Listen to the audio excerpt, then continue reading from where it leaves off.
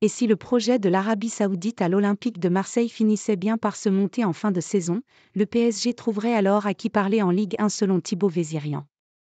La fin de saison coïncidera-t-elle avec la fin de l'ère Franck McCourt à l'Olympique de Marseille? Selon plusieurs sources, l'Arabie saoudite finalise actuellement son rachat du club provençal, même si le silence est d'or dans ce dossier et qu'en dehors de quelques fuites avec parcimonie, les avancées concrètes sont bien rares. En revanche, du côté du propriétaire américain, la tactique a toujours été de démentir formellement toute vente de l'EM. Ceci afin d'en tirer le meilleur prix, car Frank McCourt n'a plus beaucoup d'intérêt dans le sud de la France désormais Et il ne vient quasiment plus sur Marseille pour suivre les matchs ou l'évolution de son club.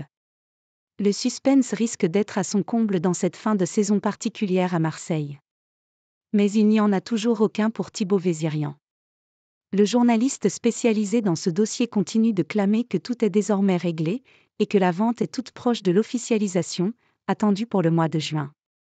Il ne faudra pas être surpris quand cela va arriver, tout est désormais prêt selon les sources, a livré l'ancien intervenant de la chaîne L'équipe, qui précise même que le projet porté par l'Arabie saoudite va promettre du sport au PSG soutenu par le Qatar, qui domine actuellement sans partage le championnat de France.